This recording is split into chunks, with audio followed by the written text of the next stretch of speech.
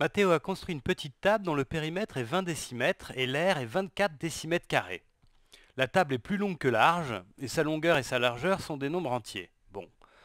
On nous demande combien mesure la longueur et la largeur de la table. Alors bon, je vais commencer par euh, faire un dessin, un petit dessin. Donc euh, je vais dessiner la table. Alors on nous dit que la table est plus longue que large. Donc je vais dessiner la longueur ici. Et puis la largeur, ça va être celle-là qui est plus petite du coup. Voilà, donc ça, c'est la largeur.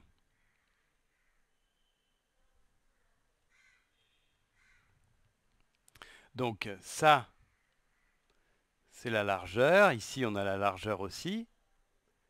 Et puis ce que j'ai tracé en bleu, ça, ce sont, c'est la longueur qu'on retrouve ici et là.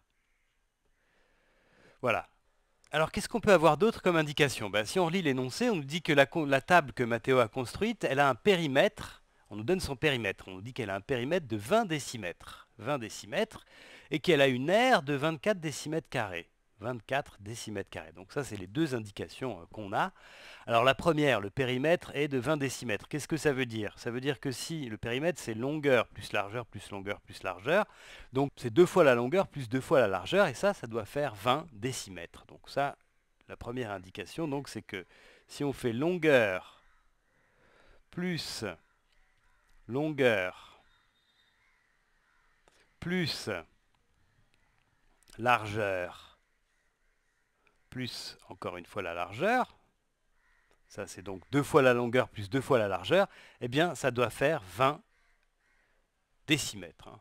Le fait que ce sont des décimètres, c'est pas très important pour nous pour l'instant, donc euh, je le mets entre parenthèses. Et puis la deuxième indication qui concerne l'air, qui nous dit que l'air c'est 24 décimètres carrés, eh bien ça, on sait que l'air c'est la longueur fois la largeur, donc ça veut dire que longueur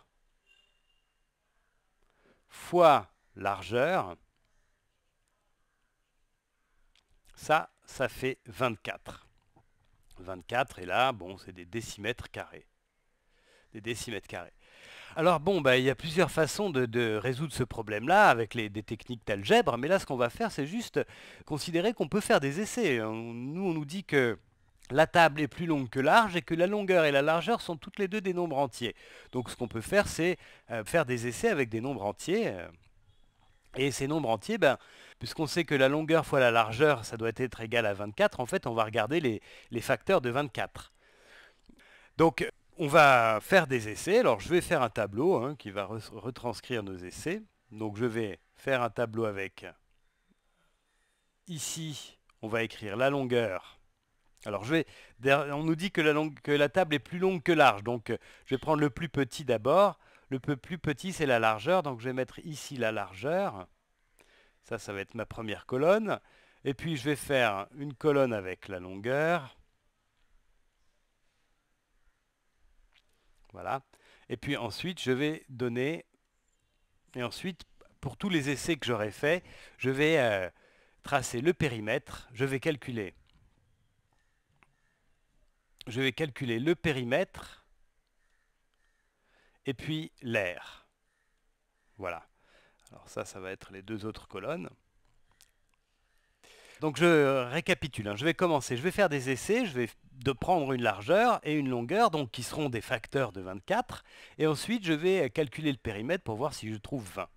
Alors, je peux commencer par, euh, la largeur ça peut être par exemple 1, et dans ce cas-là, la, la longueur, ça va être 24, hein, puisque la longueur fois la largeur, ça doit faire 24. Donc, dans ce cas-là, j'ai bien une fois 24, ça fait 24, donc j'ai bien que l'air, c'est 24, ça, ça marche. Maintenant, je vais calculer le périmètre. Alors, largeur plus largeur, ça fait 2, plus longueur plus longueur, c'est-à-dire plus 24 plus 24, ça fait donc 2 plus 48, ça fait 50. Et ça, ben, ça ne marche pas. Ça, ça ne marche pas, puisque nous, on veut que le périmètre, ça fasse 20. Alors maintenant, qu'est-ce que je peux prendre comme largeur? Je peux prendre par exemple une largeur de 2, et à ce moment-là, la longueur, ça sera 12, puisque 2 fois 12, ça fait 24, et donc on trouve bien une aire de 24. dans ce cas-là, avec ces dimensions-là, cette largeur et cette longueur, je, vérifie à chaque fois, hein, mais la largeur est bien plus petite que la longueur, donc ça, ça marche, c'est une des conditions qu'on a ici. Hein. la table doit être plus longue que large. Hein. Donc la largeur doit être plus petite que la longueur, ça c'est bon. Donc, euh, donc là, je vais maintenant calculer avec ces dimensions-là, je vais calculer le périmètre. Donc 2 fois la longueur, ça fait 2 fois 12, plus 2 fois la largeur, 2 fois 2, c'est-à-dire 2 fois 12 plus 2 fois 2, 24 plus 4, ça fait 28. Ça ne marche pas.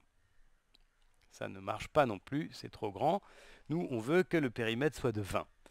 Alors maintenant, je peux avoir une largeur de 3, par exemple, puisque dans ce cas-là, si je prends une longueur de 8, j'ai bien 3 fois 8, ça fait 24, donc j'ai bien une aire de 24. Donc ça, ce sont des dimensions possibles pour la table, largeur 3 et longueur 8.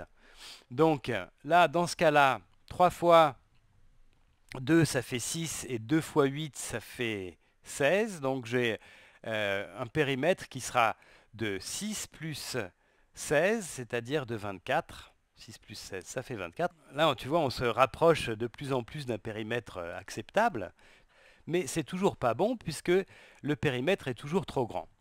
Alors maintenant, il nous reste, euh, on peut prendre pour largeur 4, et dans ce cas-là, la longueur, ça sera 24 divisé par 4, c'est-à-dire 6. Et donc 4 fois 6, ça fait 24. On a bien une R de 24. Donc ça, c'est des dimensions là aussi acceptables. Hein. La largeur est plus petite que la longueur. Et le produit, ça donne bien une R de 24. Donc c'est bon. Alors on va calculer maintenant euh, le, périmètre. Donc 4 fois 2, ça fait 8. Et 2 fois 6, ça fait 12. Donc le périmètre, c'est 8 plus 12, c'est-à-dire 20. Et là, ça c'est bon.